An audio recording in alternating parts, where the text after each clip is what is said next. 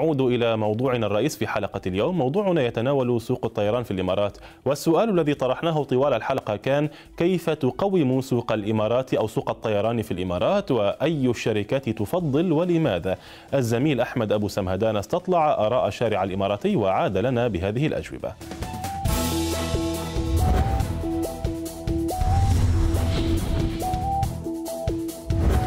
لا هو عامة الطيران في البلد والمطارات بالذات متطورة جدا.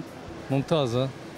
وفي المواعيد يعني تطلع وتوصل في المواعيد وفي المدينة اللي تريدها direct من المدينة اللي أنا فيها يعني أنا من أبو ظبي أطلع direct يعني على طيران الاتحاد مثلا أي مدينة أريد لها ممتاز.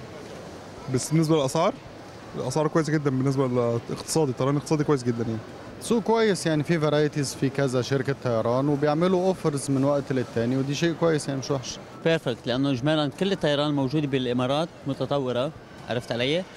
وكل بلد متطور وكل بلد عنده اقتصاد عالمي.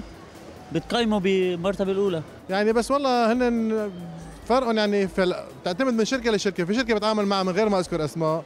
تعطي سعر أحسن من الف... من, ال... من الشركات الثانية. ما بعرف إذا ما... ما يعني ما في كنترول عليهم.